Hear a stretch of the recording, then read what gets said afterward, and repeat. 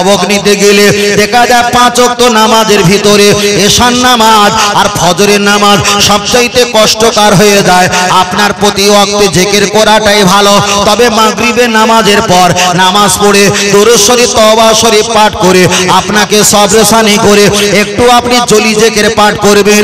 এই জলি জেকের পাঠ করার পর এশান নামাজে আপনি নামাজটা আদায় করলেন। তওবা দরুদ শরীফ পাঠ করে আপনি সবরেসানি করে আপনি দরুদ শরীফ পাঠ করবেন। আল্লাহ, আমি আমার লতিফা কলবে দিকে খেয়াল আছে। আমার কল জনাবি সাহেব হুজুর কেবলার ওসিলায়। নবী করিম সাল্লাল্লাহু আলাইহি ওয়াসাল্লামের দিকে মতওয়াজ্জা আছি। তানার মহব্বত, ভালোবাসা, ফয়েজ আমার অন্তরে কলবে আল্লাহ নসিব করে দাও। এমন করে চোখটি বন্ধ করে আল্লাহুম্মা সাল্লি আলা সাইয়্যিদিনা মুহাম্মাদিনা নাবিয়িল উম্মি ওয়া আলিহি ওয়া আসহাবিহি ওয়া বারিক ওয়া সাল্লিম। আপনি দরুদ শরীফটা পাঠ করবেন। হুজুর আমার বলে দিয়েছেন কোন ব্যক্তি যদি হালাল খাদ্য খায়, দুই পাঁচার মাঝখানে, দুই ঠোঁটের মাঝখানে ইজ্জতকে যদি ঠিক রাখতে পারে, আল্লাহ নবীর নামে এই দরুদ শরীফটা যদি কমপক্ষে যদি কিছুদিন আমল করতে পারে, রাতের অন্ধকারে আমার দয়ার নবীর সঙ্গে দিদার নসিব হয়ে যাবে। আরেকটু জোরে হবে না? আরেকটু জোরে হবে না? এশার নামাজের পর হয়ে গেল। এবার ফজরের নামাজের পর, ফজরের নামাজ তাক হয়ে যাবার পর আপনি দরুদ শরীফ, তওবা, সূরা ইখলাস একটু পাঠ করে নিয়ে সবরেসানি করে নিয়ে, এবার আপনার আর একবার দরুদ শরীফ পাঠ করতে হবে। আমি আমার কলব দিকে মতওয়াজ্জা আছি আমার কল জনাব পীর সাহেব হুজুর কেবলা খাজা মঈনুদ্দিন আজমি রহমাতুল্লাহ আলাইহির কলবের ভয়ে দিদার আমার নসিবে জারি হয়ে যাক। আল্লাহুম্মা সাল্লি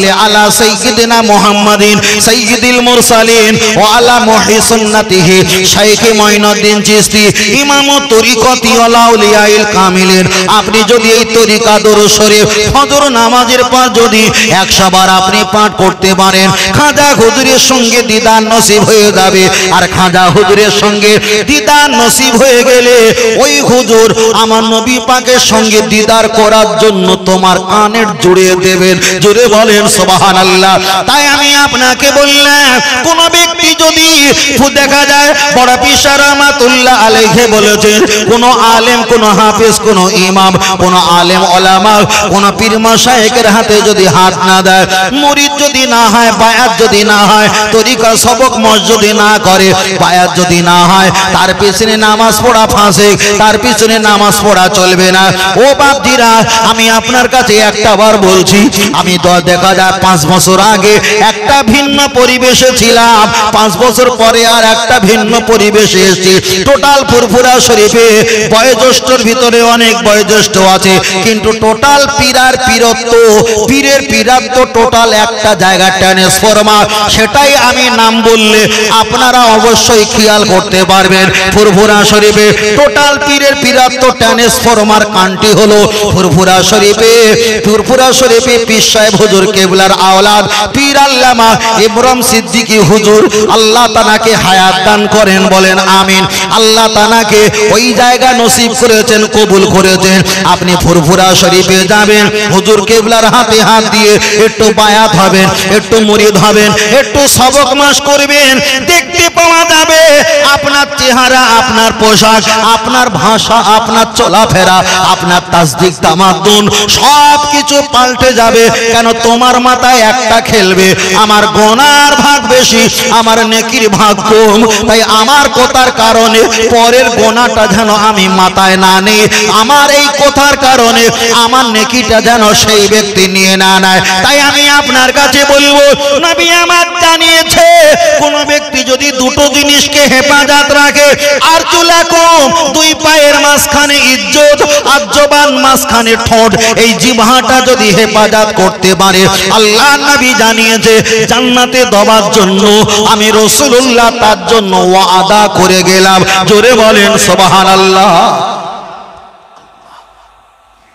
আল্লাহ এই বিষয়ে আমি কখনো বলিনি। এই বিষয়ে আমি বলছি কেন? নিজের নাজাদ পাবার জন্য এই রাস্তা ছাড়া বিকল্প কোনো রাস্তা নেই। নেই নেই নেই। যা হচ্ছে, আমাদের সাথে শরীর নাড়ানো হচ্ছে। ফুরপুরা শরীফে গেলাম, দু কেজি মনসুর মিঠাই কিনলাম নারায় তকবি দে আল্লাহ একবার দুটো রজনী কিনলাম, গালে দিলাম। একটা রিসেন্ট কিনে বাইকে দিলাম, একটা লঙ্গি, একটা হাজির মাল কিনে নিয়ে আসলাম, গালে দিয়ে যা গালে তো মাল আছে। চল্লিশ কেন? নব্বই হাজার বছর এরকম ভক্ত হয়ে থাকো, কি হবে না হবে আল্লাহ ভালো জানে। ফের বারবার বলছি। হুজুর বলছেন, বাবা! সারাটা জীবন তুমি খাজা হুজুর রহমাতুল্লাহর প্রশংসা করলে, বড় পিসার রহমাতুল্লাহর প্রশংসা করলে, দাদা পীর রহমাতুল্লাহর প্রশংসা করলে, এত প্রশংসা করেছ, তাহলে মানুষকেও সেই পথে আসতে বলেছ, তুমি কেন আসলে না? ওই জন্য বড় পিসা বলেছিল, আল্লাহ, আমি যদি জাহান নামে যাই, আমার চোখটা অন্ধ করে দিও, যাতে যারা আমার বক্তব্য শুনে জান্নাতে যাবে, আর আমি জাহান নামে যাব, কি কে সহ্য করব?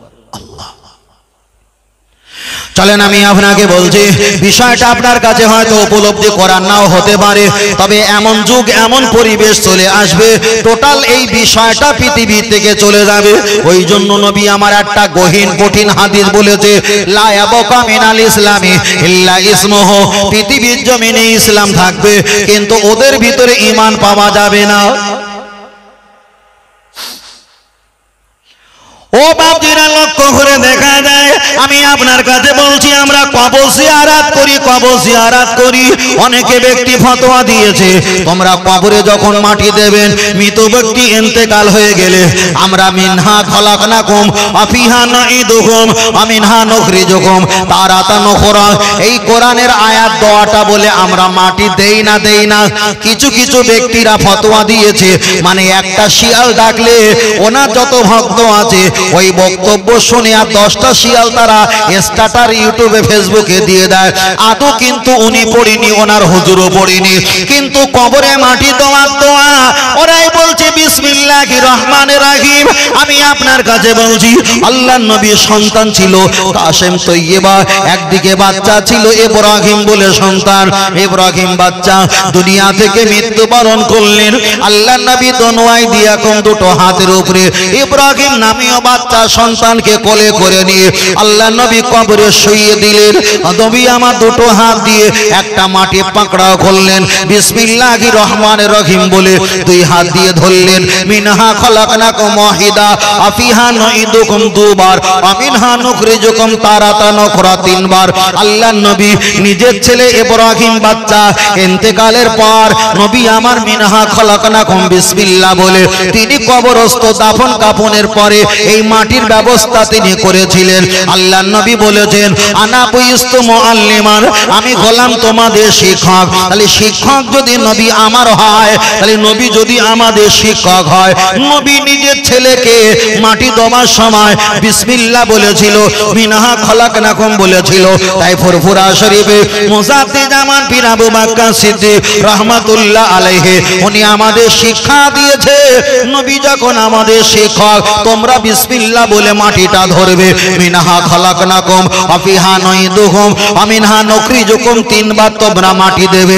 কোন হুজুর বলেছে বিসমিল্লাহ বলতে হয়। হুজুরে কোথা বাদ দাও। আল্লাহ নবী স্বয়ং এই দোয়া পড়ে মাটি দাফন করেছিল। তাহলে এখানে প্রমাণ হয়ে গেল। মাটি দেওয়ার সময় ওরা বিসমিল্লাহ সেরেফ বলে, আর কিছু বলে না। কিন্তু আমরা বিসমিল্লাহ বলি, আবার মিনহা খলাকনাকুম বলি। তাহলে আমরা দুটো নিয়ম পালন করি। জোরে বলেন আল্লাহ, আমার কথা বুঝতে পারছেন বাবু? অসুবিধা হচ্ছে নাকি পিছনে ভাই? আল্লাহ।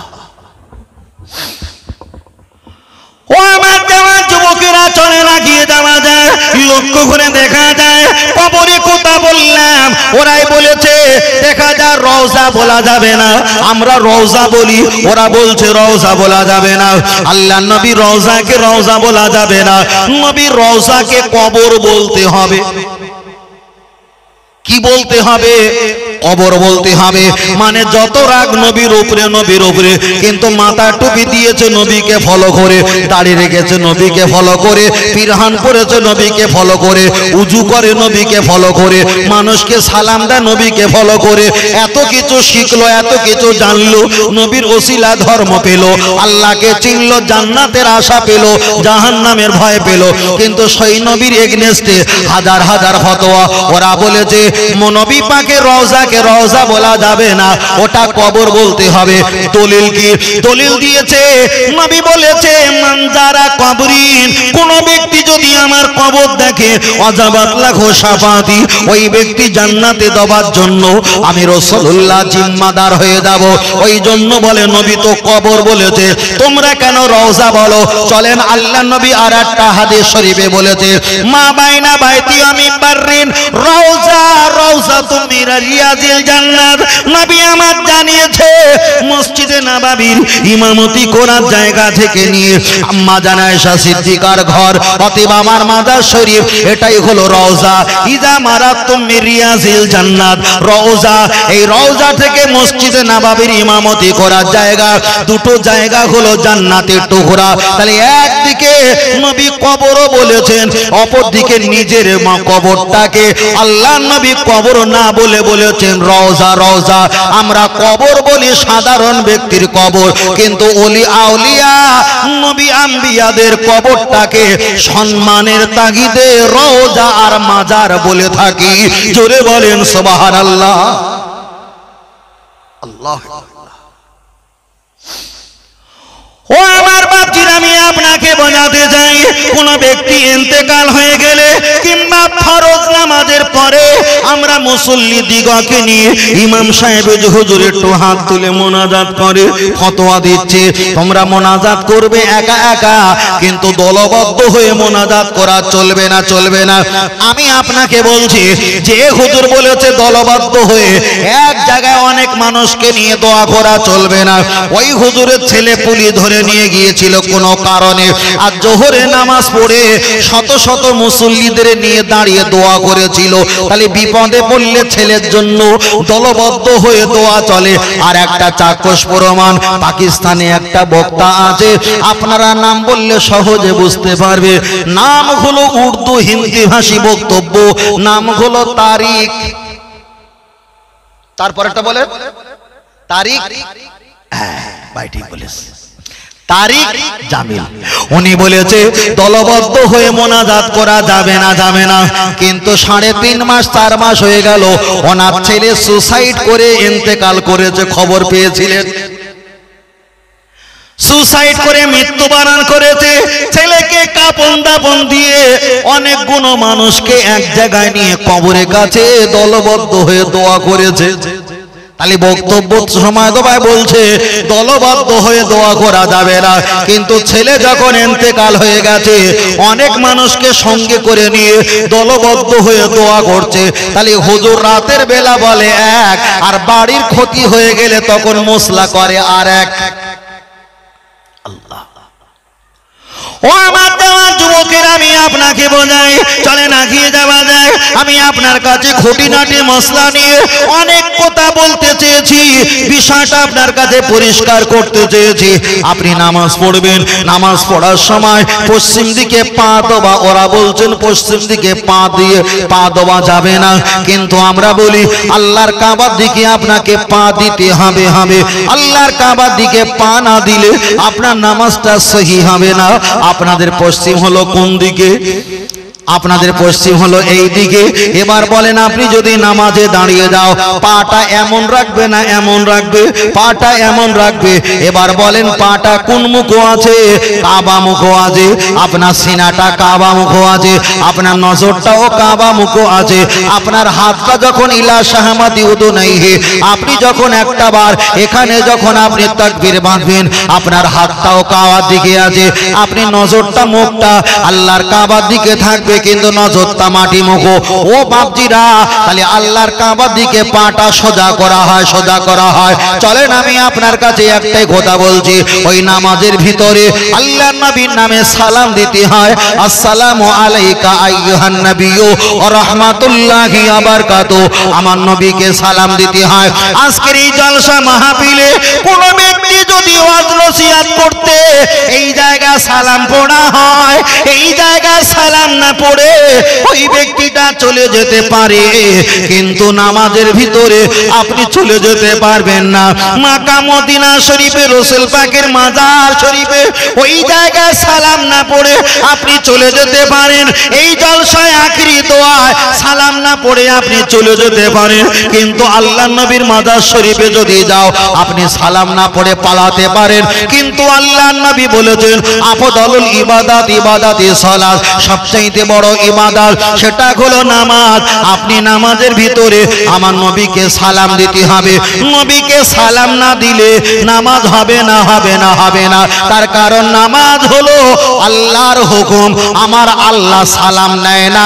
কিন্তু নবীর জন্য সালাম দেওয়া আমার আল্লাহ অজিব করে দিয়েছেন বলুন সুবাহান আল্লাহ আর একটু জোরে হবে না? আল্লাহ আল্লাহ আল্লাহ। আল্লাহ আল্লাহ আল্লাহ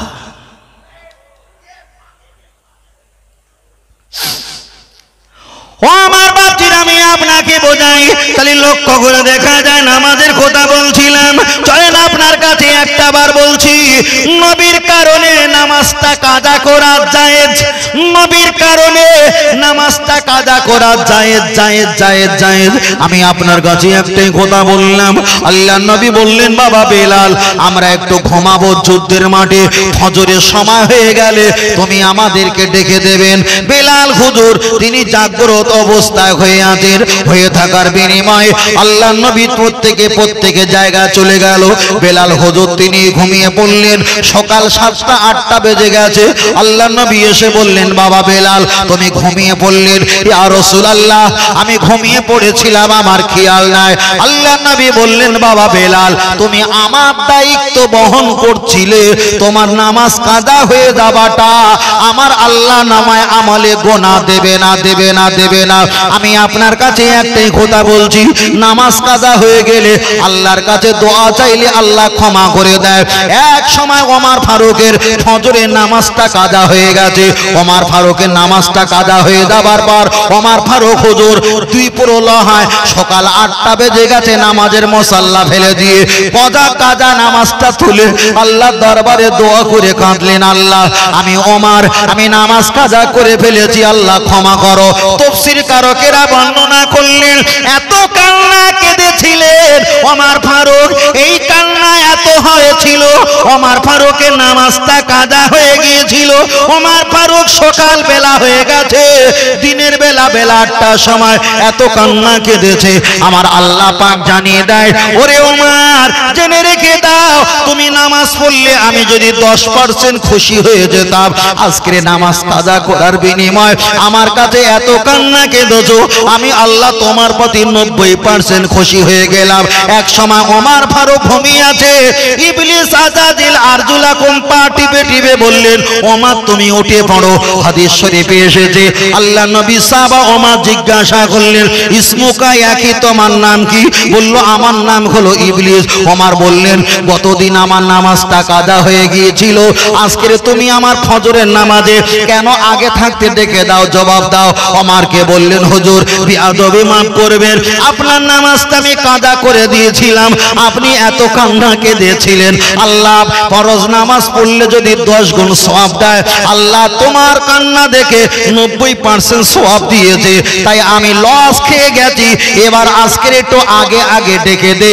যাতে পরের দিনের মতো যদি আবার তুমি কাজা করে আল্লাহর কাছে দোয়া চাও, আবার দশ পার্সেন্টের জায়গায় নব্বই পার্সেন্ট আল্লাহ রাজি হয়ে যাবে। যাতে বেশি না হয়, তার জন্য সমান সমানের জন্য আপনাকে ডেকে দিতে এসেছি। তাহলে ইবলিসও কাজ করে ওনার লাভে। কেন আগামী দিনে দেখা যায় নামাজ কাজা হবার কারণে আল্লাহ অনেক খুশি হয়েছিল। আজকের যদি নামাজ কাজা হয়ে যায়, আল্লাহ খুশি হবে। তাহলে কাজা করিয়ে দিয়ে আমার লাভটা কি হবে? ও আমার বাপজির, আমি আপনাকে বলছি, আপনি পাঁচ ওয়াক্ত নামাজ পড়তে পারলেন না। যদি আপনি বাজারে, মার্কেটে যদি কাজকর্ম করেন, আপনি সকালবেলা যাবেন, ফজরের সময়, ভোরের বেলা। ফজরের নামাজটা পড়ে যাও। আপনি দুপুর বেলা নামাজ পড়তে পারলেন না, আসরে পারলেন না, আপনি আজ দেখা যায় মাগরিবে পারলেন না। এসায় তো আপনি রাতে বাড়ি ফিরবেন, প্রতি অক্তের শুধু ফরজ নামাজ, জোহরের চার রেখাত, আসরের চার রেখাত, মাগরিবের তিন রেখাত এশার চার রেখাত, এত গুণ শুধু কাজাটা আপনি তুলে নেবেন। তবে জেনে রেখে দাও, আপনার ঘর আছে, এই ঘরের ভিতরে আপনার ছেলে বৌমা থাকার জন্য স্পেশাল ঘর বানানো হয়। এই ঘরের ভিতরে সাইকেল, বাইক রাখার জন্য স্পেশাল কামরা বানানো হয়। এই ঘরে জায়গা ছাগল, বকরি, দম্বা, মহিষ, এগুলো রাখার জন্য কামরা বানানো হয়। আপনার ঘরে হাঁড়ি, কুড়ি রাখার জন্য স্পেশাল কামরা বানানো হয়। আপনার বাচ্চা লেখাপড়া করবে, লেখাপড়া যাতে পরীক্ষায় পাশ করে, তার জন্য একটা স্পেশাল কামরা বানানো হয়। ও আমার জোলা মধু, সোনার মানিকেরা, তাহলে এত গুণ প্রত্যেকের কামরা আপনারা নির্ণয় করে দিয়েছ। আপনি আবাদাত করবেন, আল্লাহর কাছে কান্নাকাটি করবেন। এত বড় ঘর, এত বড় বিল্ডিং বালাখানা ভিটে বাড়ি ভিতরে। আপনি কি একটা ছোট ঘর বানাতে পারলেন না? ঘরের পাশে কিংবা ঘরের ভিতরে। এই ঘরটা আমার এবাদাত করার জায়গা, এই জায়গা তসবি থাকবে না আমাদের মাসাল্লা টুপি থাকবে, এই জায়গায় শুকনো খাবার পানি থাকবে, আমার মন চাইবে, এই জায়গায় দাঁড়িয়ে দাঁড়িয়ে আমি নামাজ পড়ব, আমার বাড়ির বিয়ে বাচ্চা আমাকে ডিস্টার্ব করবে না, আমার বাড়ির নাতি পোতা আমাকে সমস্যা করাবে না, আপনি ওই জায়গায় নিজের কথা, নিজের গোনার কথা আল্লাহর কাছে বারবার বলবেন, আল্লাহ, আমি এত ঘোনা করেছি, দুনিয়ার কোন মানুষকে যদি বলা হয়, ওরা তাড়িয়ে নিয়ে যাবে। আল্লাহ এত গোনা করেছি। আপনি আমার গোনাকে মাফ করে দাও। কান্নার ভাম করবে। তোমার মুখ দেখানো কান্না কেউ আড়াল দিয়ে ফলো করবে না। ইচ্ছা মতো কান্নার চেষ্টা করবে। পাপের কথাটা স্মরণ করবে। অন্তরে দরজাটা খুলে যাবে। চোখ থেকে আজকের পানি আসে না, পাঁচ দিন আসবে না, দশ দিন আসবে না। একদিন পানি আসা শুরু হয়ে যাবে। তুমি মনে মনে বসতে পারবে, আমার এই এবাদাত আল্লাহ নিচ্ছে তখন মনে মনে হবে আমার নেকির সংখ্যা বাড়ছে আর গোনা সংখ্যা কমছে। আর একটু জোরে হবে না? বারবার করে বলছে ছেলেদের বাবা, আমাদেরকে নাজাতের জন্য তৈরি হতে হবে। নাজাতের জন্য তৈরি হতে হবে।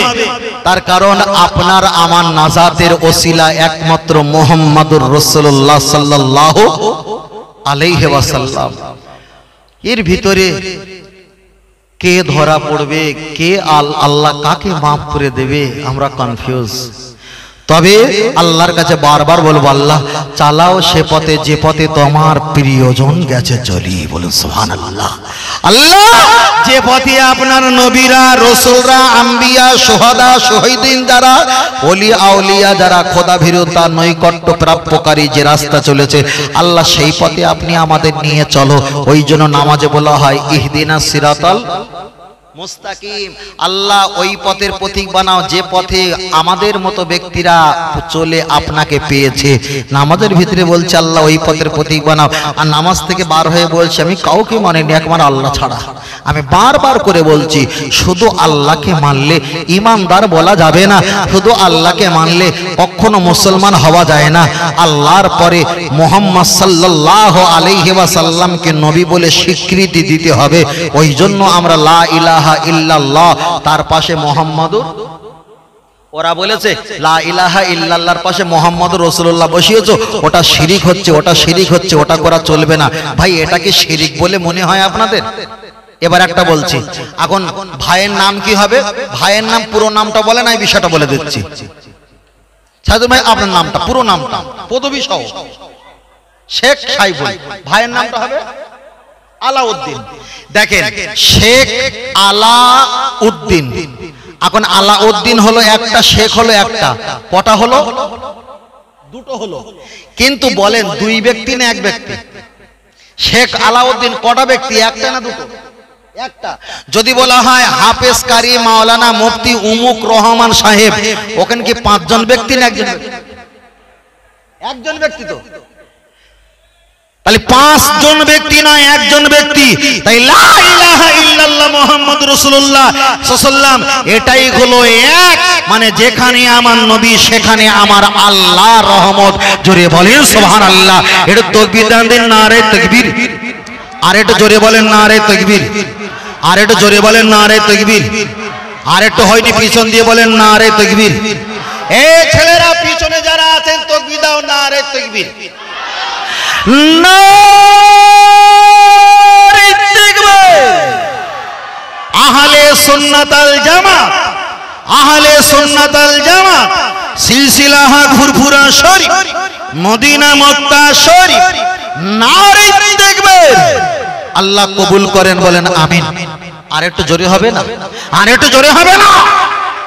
তবু বলছি, আমি কোনো হুজুরের নামে, কোনো আওলাদের নামে, কোনো সাধারণ ব্যক্তির নামে সমালোচনা, গালি, কুবাক্য, খারাপ বাক্য কখনো আমি এখান থেকে ব্যক্ত করিনি, করব না।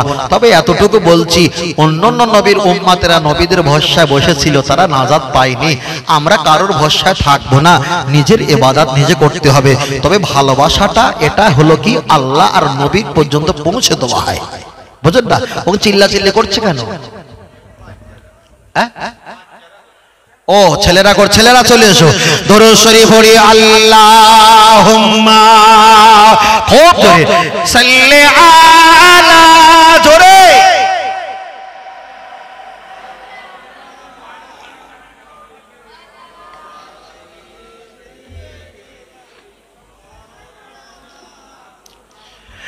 মা আমিনার ঘরে যাব, সেখানে আখিরি নবীকে পাব।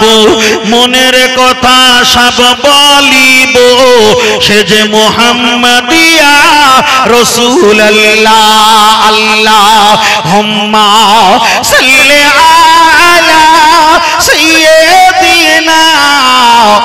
মাশাআল্লাহ মাশাআল্লাহ।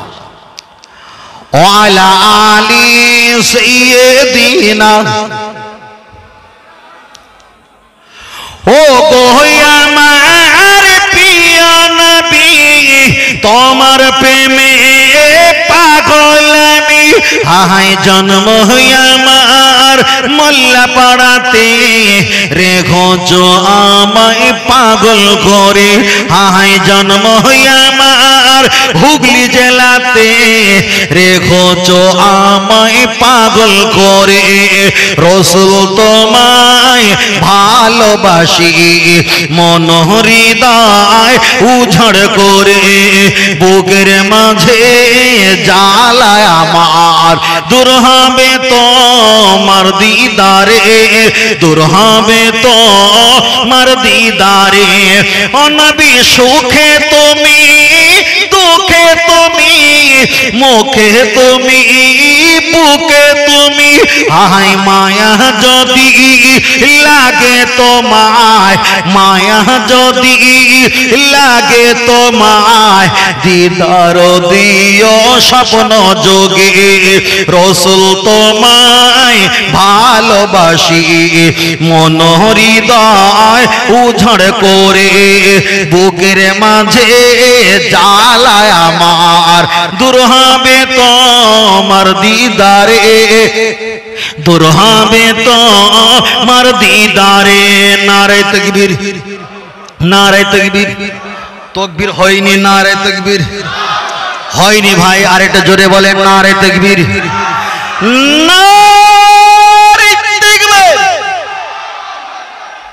তকবীর। হয়েছে ভাই।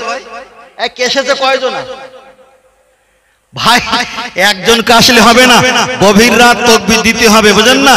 তকবির দিলে কি হবে? শয়তান যত আছে ওখানে শয়তান ভর করেছিল। বুঝেন না? শয়তান ভর করেছিল। যেটা কাঁটি মার, কাঁটি মারলে তেমন মন্ত্র দিকে চলে আসবে। বুঝলেন তো? যতটা লাগো ওই শয়তানের কথা বলছিলাম। ওমর ফারুকের নামাজ কাদা করে দিয়েছে। ওমর ফারুক এত দোয়া চেয়েছে, একদিন নামাজ পড়লে যা খুশি হতো, আমার আল্লাহ পঞ্চাশ দিনের নামাজের সব দান করেছে। ইবলি শয়তান ওর লস হয়ে গিয়ে আরও আগে থাকে দেখে দিচ্ছে, বুঝেন না? এটা তকবিদার না আরে তকবির। হয়নি আর এটা জোরে বলেন না আরে তকবির। আর এটা জোরে বলেন না আরে তকবির। বিশ্বনবী দিবস বিশ্বনবী দিবস, প্রতি বছরের নাই এবছরে মহান ইসাল্লে ছেলেরা একটু জোরে বলেন না আরে তকবির। আর একটু জোরে বলেন না আরে তকবির। নারে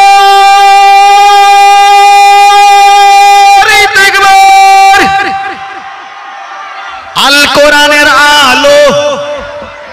হয়নি আর একটু জোরে, আল কোরআনের আলো। আল হাদিসের আলো। আহলে সুন্নাত আল জামা সিলসিলাহা ফুরফুরা শরীফ, মদিনা মক্কা শরীফ, নারে দেখবেন। আল্লাহ কবুল করেন, বলেন আমিন। কে কে ঘুমাচ্ছেন, একটু হাত তোলেন বাবা কে কে ঘুমাচ্ছেন, কে কে? সব জেগে আছে তো? এই দাদু ভাই আসছে, রাস্তা করে দাও। দাদু ভাই আসে আসো। দাদু ভাই আসেন, এদিকে আসেন। এদিকে আসেন, বসেন। একদম ব্যাস লাগিয়েছে বুঝলেন না? সুন্দর দেখাচ্ছে।